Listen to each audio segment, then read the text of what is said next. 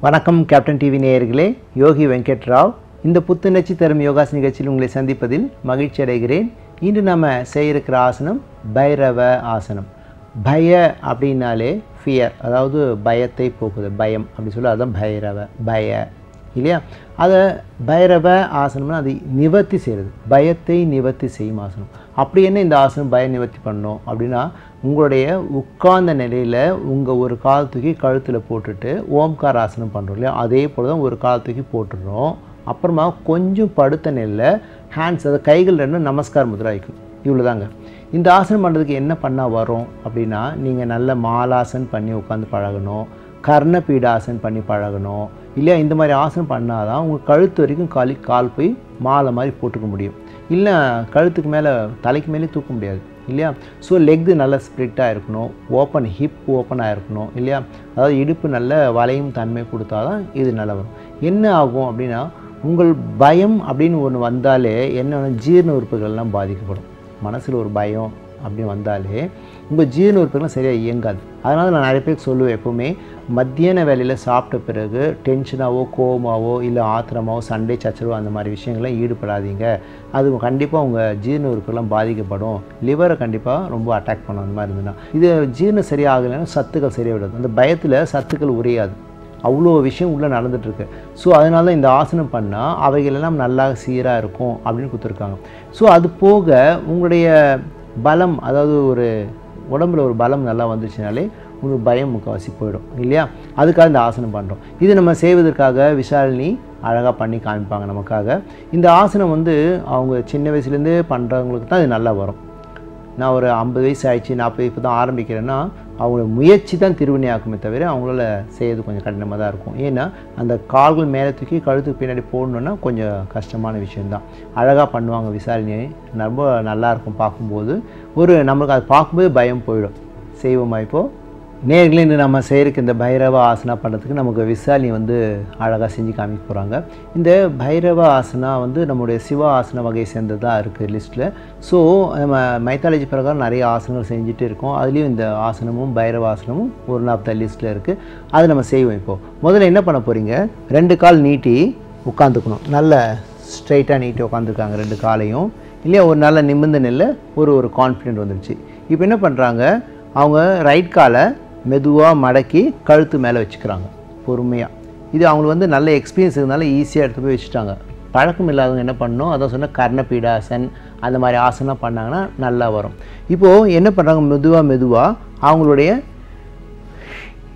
இடது பக்கமாக கொஞ்சம் சாஞ்சிட்டாங்க. சாஞ்சோன்னு ஒரு படுத்த நிலையில் கால் நல்லா தரையில் ஊனி இருக்குது இப்போ இந்த ஃப்ரண்ட்டில் இருக்க காலையும் சைடில் நீட்டி ஸ்ட்ரைட்டாக வச்சுட்டாங்க. இல்லையா? இப்போ அந்த ரெண்டு கைகளையும் நமஸ்கார் முத்ரா வச்சு ஒரு எல்போ வந்து கிரவுண்டில் பதிய வச்சு இன்னொரு எல்போ நல்லா ஸ்ட்ரைட்டாக அப்படி வைக்கிறாங்க. இல்லையா? இப்போது இந்த பொசிஷனில் இந்த கைகளும் முகத்துக்கு நேராக வந்துச்சு. இந்த கையும் நல்லா உயர்த்தி இப்போ பார்த்தீங்கன்னா இந்த சப்போர்ட்டில் ஃபுல்லாக ஒரு ஸ்ட்ரைட் ஆங்கிள் இல்லையா? காலும் நல்லா ஸ்ட்ரைட்டாக வச்சுருக்காங்க. இதில் வந்து ரிலாக்ஸாக இருக்காங்க அவங்க பொறுத்த வரைக்கும். ஆனால் நம்ம கொஞ்சம் வயசானவங்க பண்ணும்போது கொஞ்சம் சிரமமாக தான் இருக்கும் இந்த ஆசனம் பண்ணுறதுக்கு அப்புறமா திருப்பி எழுந்துக்கும் போது அதே மாதிரி கைகளை வந்து இந்த கையை முதல்ல ரிலீஸ் பண்ணி பேக்கில் வச்சுக்கிறாங்க. இந்த கையை வந்து ஊனிட்டு இப்போ எழுந்து உட்காந்து ஈஸியாக உட்கார முடியும் அவங்களால. இப்போ மெதுவாக எழுந்து உட்காருங்க. எஸ் காலும் நேரம் ஆக்கிட்டாங்க இப்போ ரிலீஸ் பண்ணிக்கோங்க. காலை ரிலீஸ் பண்ணிக்கோங்க மெதுவாக இல்லையா? இது போல் வலது இடது மாற்றி மாற்றி பண்ணலாம். பண்ணும்போது நல்லாயிருக்கும். இப்போ காலம் அடித்து நார்மலாக சுகாசனமில் உட்காந்துக்கோங்க அல்லது வஜ்ராசனம் உட்காந்துக்கலாம் போகிறோம் இப்போது இவங்களுக்கு என்ன ஆயிருக்கும்? வயிறு கொஞ்சம் உள்ளே இழுத்துருக்கும் இல்லையா? அதனால் உஸ்ட்ராசன் பண்ணலாம். இப்போ இப்போ திரும்பிக்கோங்க காம்ப்ளிமெண்ட்ரி முட்டி போட்ட நிலையில் முட்டி போட்ட நிலையில் வந்துக்கோங்க இல்லையா? முதல்ல ஒரு கை மட்டும் உயர்த்தி பின்னாடி காலை பிடிங்க. இப்போ அடுத்த கையும் உயர்த்தி பின்புங்க இவ்வளோதாங்க இப்போ தலையை மெதுவாக தொங்க விடுங்க. மூச்சு இழுத்த நெல்லை பண்ணுறாங்க இப்போ என்னாச்சு அந்த வயிறுலாம் இழுத்துது இல்லையா? அது சரியாயிடுச்சு. திருப்பி மறுபடியும் கை உயர இழுத்துட்டு மெதுவாக உட்காந்துக்கோங்க come up sit down Vajrasan இப்போது ஒரு பைரவாசன் பண்ணாங்க.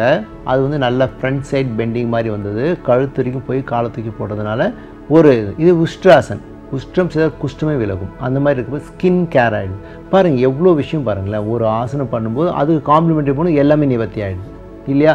இதில் நம்ம தனித்தனியாக போய் நம்ம பண்ணணும்னா எவ்வளோ சிரமம் இல்லை எவ்வளோ கஷ்டம் இல்லை. எளிமையாக வீட்டிலேருந்து ஆனால் நீங்கள் பழகணும். இது பழகத்துக்கு நீங்கள் நல்ல கர்ணபீடாசன் பண்ணுங்கள் நல்லா வரும். மாலாசன் பண்ணுங்கள் லெக்கு நல்லா சோல்ருக்கு நல்லா ஃபோல்ட் ஆகும். துருவாசன் பண்ணி பாருங்கள் இல்லை சிசு பாலாசன் பண்ணி பாருங்கள் இதில் வந்து நல்ல ஹிப் லூசன் ஆகும் நல்லா வரும். செய்யுங்க ஆரோக்கியமாக இருங்க. என்ன நேர்களே இன்று நம்ம நல்ல ஒரு ஆசனம் பார்த்தோம். அதே போல் நல்ல ஒரு ஹெல்த்தி டிப்ஸு கண்களுக்கு விளக்கெண்ணெய் தடவுதல். அதாவது நைட் படுக்கும்போது ஒரு ரெண்டு ட்ராப் அளவுக்கு விளக்கெண்ணெய் எடுத்துக்கோங்க கேஸ்ட்ரால் ஆயில் இல்லையா? அதை லைட்டாக கைகளால் தொட்டு கண்ணை சுற்றி அழகாக மெதுவாக தடவிட்டாலே போகிறோம் அப்போ நீங்கள் தூங்கலாம். மூணு மணி நேரம் இருந்தாலே போகிறோம் அந்த மாதிரி. அப்போ நீங்கள் இல்லை எனக்கு நான் வந்து ஒரு எட்டு மணிக்கெலாம் தடவிட்டேன். அப்படின்னா இப்போ பத்து பதினொன்று மணிக்கு நீங்கள் பஞ்சு தொடச்சி க்ளீன் பண்ணிக்கலாம். போகிறோம் என்ன பண்ணும் அப்படின்னா கண்களுக்கு முதல்ல குளிர்ச்சி. கண்கள் குளிர்ச்சியாக இருந்தால் தான் நல்லது. அதுக்கு ஐஸ்லாம் வைக்கக்கூடாது. ரொம்ப ராங் டிசிஷன் அது மாதிரி பண்ணவே கூடாது. அடிப்பட்டால் ஐஸ் வைக்கலாம். கண்களுக்கெல்லாம் ஐஸ் படவே கூடாது. ஐஸ் வாட்டரில் சில பேர் முகத்தை கழுவாங்க ரொம்ப ரொம்ப டேஞ்சர் ஏன்னா மிக மெல்லிய நாடிகள் கண்களில் இருக்கிறது அது ரத்த ஓட்டம் அதில் போயிட்டுருக்கும். அதை தடைப்பட்டுரும். அது மாதிரி பண்ணவே கூடாது. அதனால் விளக்கின நைட்டில் தடவுங்க. கண்களுக்கு குளிர்ச்சியாக இருக்கும். அதே மாதிரி கண்கள் நல்லா தெரியும். நம்ம எப்பவுமே ஒரு சின்னதாக சிலையடை மொழி சொல்லுவாங்க இல்லையா? அதாவது விளக்க ஏதாவது ஒரு பொருளை தேடணுன்னா கண்ணை நல்லா விளக்கெண்ணை விட்டு தேடு அப்படிவாங்க இல்லையா? ஸோ அந்த விளக்கெண்ணை நம்ம தளவும் போதே நம்ம கண்களுக்கு வந்து ஒளி ஆனது நல்லாவே வரத்துக்கு வழி கிடைச்சிடும் சொல்லுவாங்க. கண்கள் நல்லா தெரியும் அப்படின்னு. அதனால் நைட் படுக்கும்போது ரெண்டு ட்ராப் எண்ணெய் எடுத்து சும்மா கண்ணுக்கு அப்ளை பண்ணிட்டு அப்படியே படுத்துக்கலாம். ஒன்றுமே இருக்காது நல்லாவே இருக்கும். செஞ்சு பாருங்கள் கண்கள் நல்லா ஒளி வீச வைங்க. என்ன நேர்களே இன்று நம்ம நல்ல ஒரு ஆசனம் பார்த்தோம். நல்ல ஒரு ஹெல்த் டிப்ஸ் பார்த்தோம். நாளை மீண்டும் இந்த புத்துணர்ச்சி தரும் யோகாஸ் நிகழ்ச்சியில் சந்திப்போம். நன்றி வணக்கம்.